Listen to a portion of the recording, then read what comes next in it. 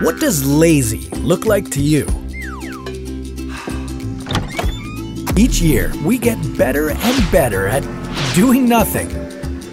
But this idea definitely takes the cake. This is What If.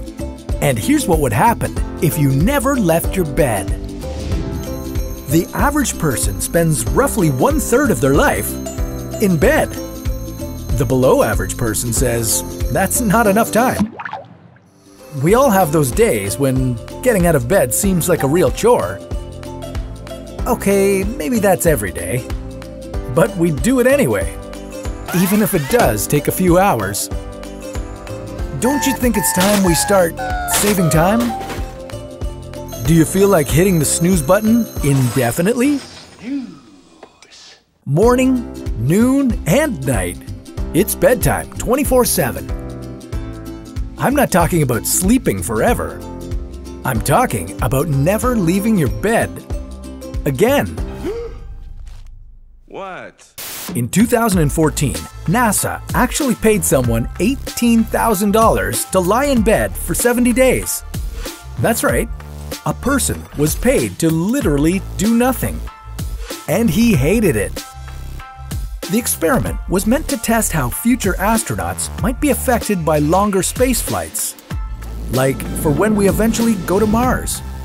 But an interesting finding that might surprise you is staying in bed sucks. It's also kind of dangerous. Before committing to a lifetime in your bed, you should know that it's the dirtiest object in your room.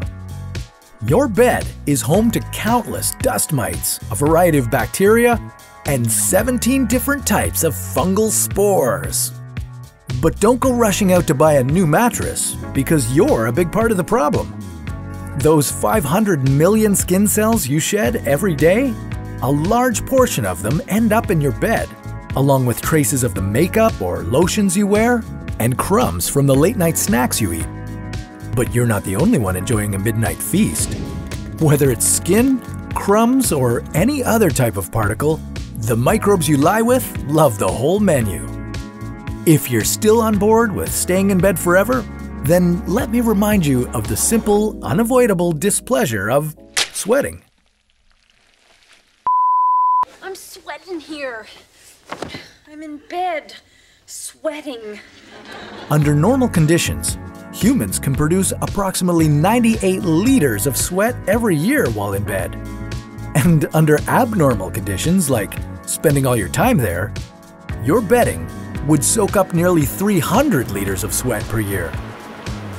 To keep it from soaking up anything else, think about your bathroom options. Are you cool with bedpans, catheters, or going back to diapers? Of course, cleaning up would definitely require some assistance. But if this is a world where nobody leaves their bed, then whoever's making really sophisticated robots with a good bedside manner is about to become very rich. Think about it. A robot wouldn't only be there to keep you clean, but to keep you from turning into an amorphous blob of rotting skin and deteriorating bones. Bed sores, for example, are the result of prolonged pressure on the skin. Left untreated, bed sores can lead to skin, bone, and joint infections. In extreme cases, they can even cause skin cancer. A lifetime in bed would require a lot more activity than just tossing and turning.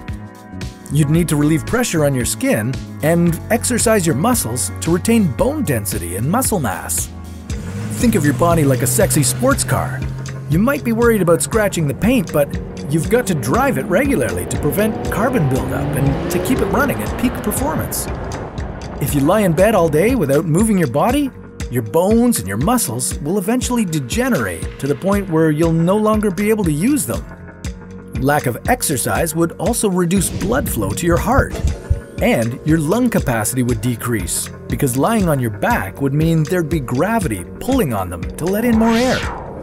So, while you're lying in bed, literally relying on robots to keep you clean, active, and, for lack of a better word, healthy, all you'd really be able to do is read, play video games, watch movies, eat, sleep, think, and talk.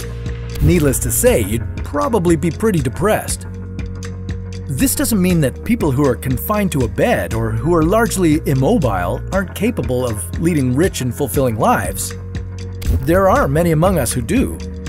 But if you are able, if you are healthy, if you're happy and you know it, clap your hands, shake a leg, jump, dance. That's what it's all about. That is an excellent plan, Detective. I'll just never sleep again. Within reason. Have you ever wondered what would happen if you no longer needed sleep? We already have the answer for you.